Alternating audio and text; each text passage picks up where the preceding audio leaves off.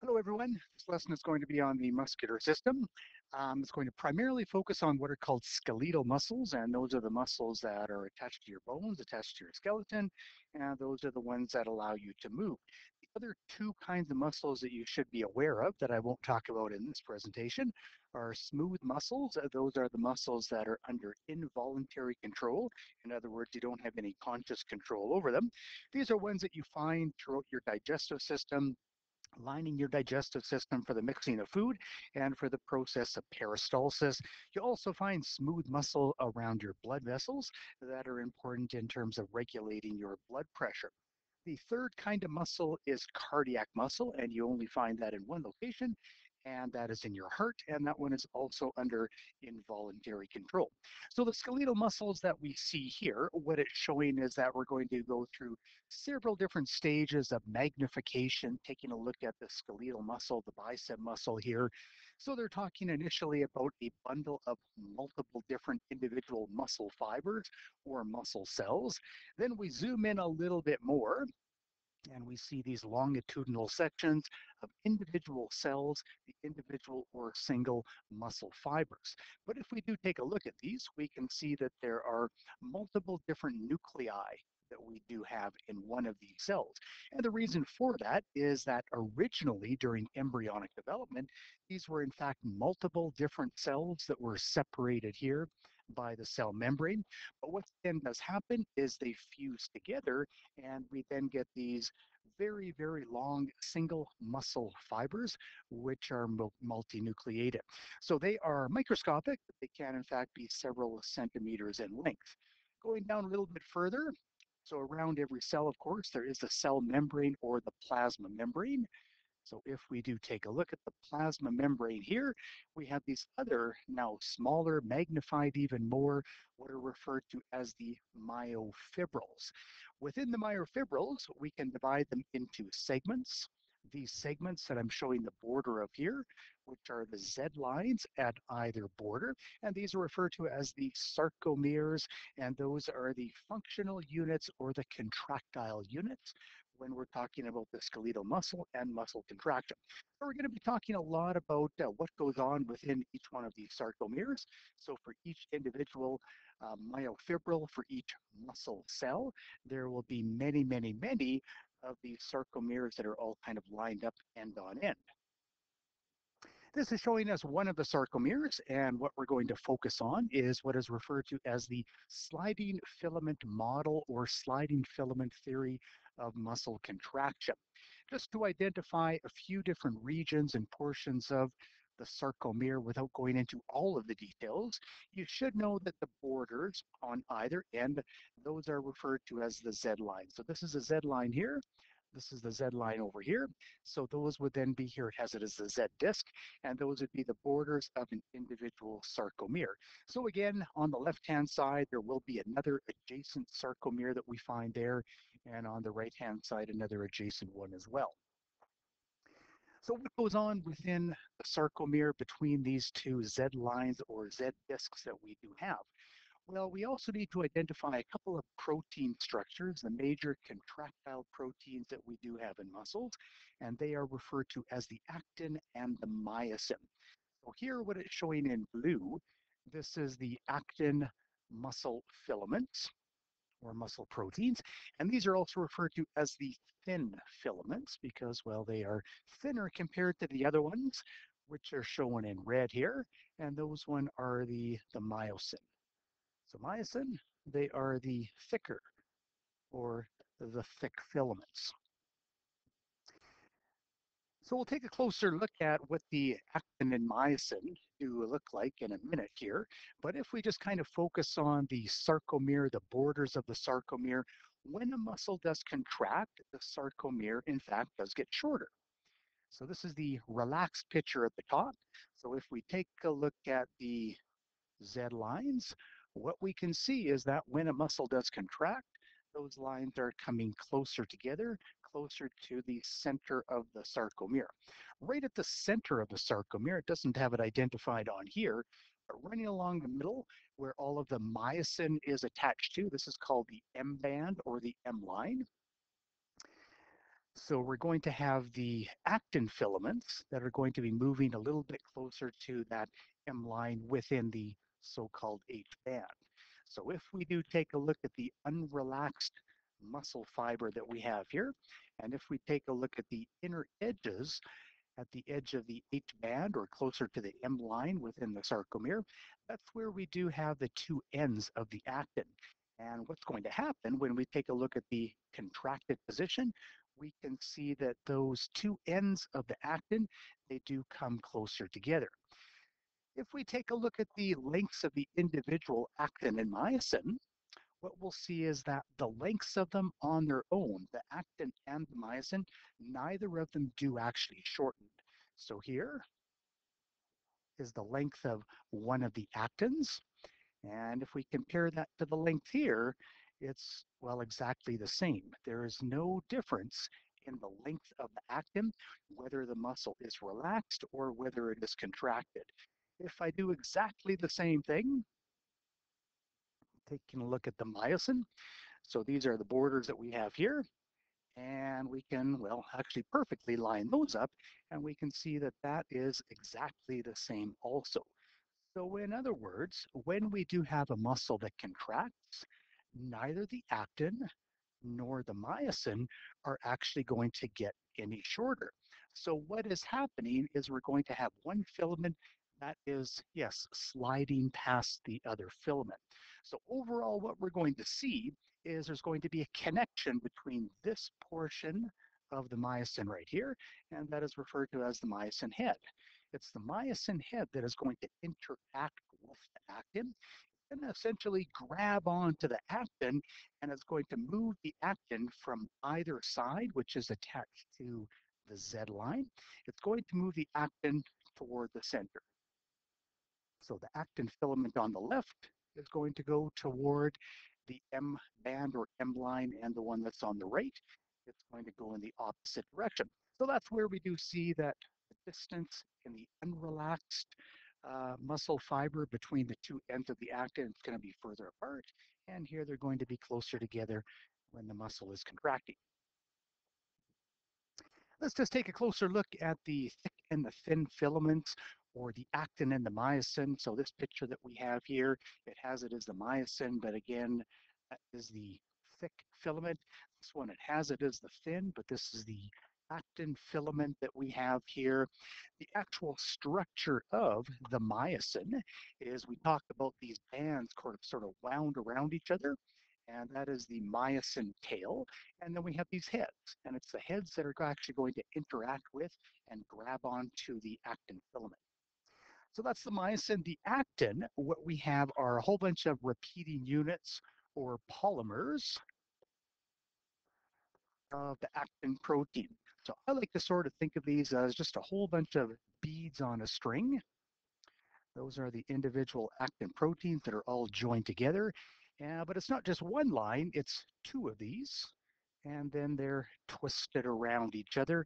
And that's the basic structure of the actin filament. A couple of other proteins that are associated with the actin filament that you need to know about. One of them is referred to as the troponin complex. It's going to be important because that is the attachment site for calcium ions which are necessary in order for the muscle to contract. And we'll see how that comes into play a little bit later. So the troponin complex is also attached to the third protein that you should be aware of. That is called tropomyosin. Tropomyosin is this band that runs along the length of the actin filament. And what it actually does is it blocks or exposes the binding site for these myosin hits. So in order for the myosin head to actually interact with the actin, we have to have the tropomyosin shifted out of the way. The way that it shifts out of the way is due to a conformational change in the structure of troponin, and that happens because calcium, as we will see, attaches to this troponin complex. So we'll take a look at a little bit of a clip here that's going to take us through this process of the contraction. So in this picture, what we can see is a bunch of the different structures that I have been referring to. Certainly some of them are more important than others. Uh, once again, you should know the borders of the sarcomere, which is the Z disc, the actual name sarcomere. And in this picture, we have two different sarcomeres lined up end on end. Don't worry too terribly much about the A band and the H zone and the I band. But within the picture that we see here, um, shown in purple, that is going to be our myosin. So along the length of the myosin, that's where we're going to have the fibers that are wrapped around each other. And then we're going to have these heads. In this case, the heads are interacting with the actin, which is shown in green. So let's go ahead and play the animation here, and I'll just let you read the caption at the bottom as we take a look at this.